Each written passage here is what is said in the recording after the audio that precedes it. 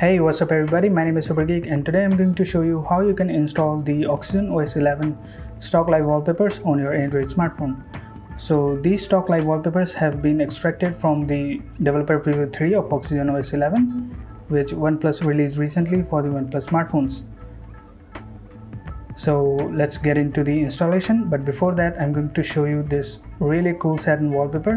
So if you want this wallpaper on your Android smartphone the link is in the i button above or in the description so you can go there and download it. So now let's jump into the oneplus live wallpaper. So this is the apk file which you get for the installation. So the link is in the description. You can go there and download it. And this is how you can install it on your android smartphone.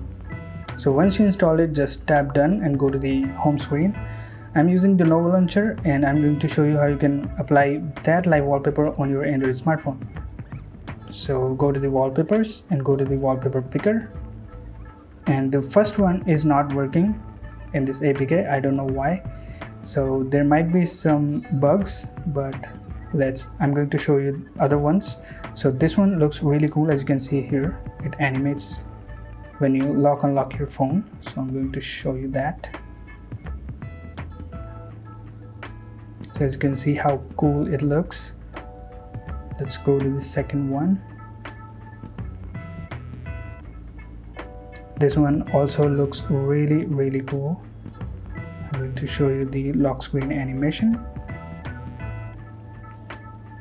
Let's go to the third one.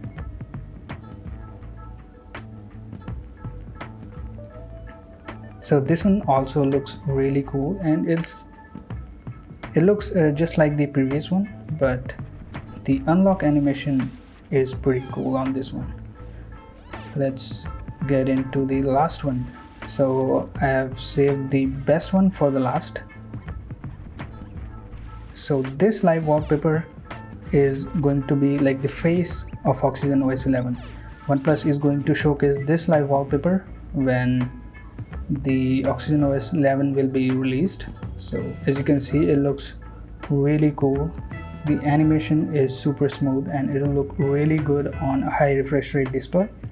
I'm going to show you the lock screen animation. See how cool that looks? So this is how you can install these stock live wallpapers from Oxygen OS 11 on your Android smartphone so that's it for now guys. Hope you liked the video. Hit the like button guys. Subscribe and I'll see you in the next one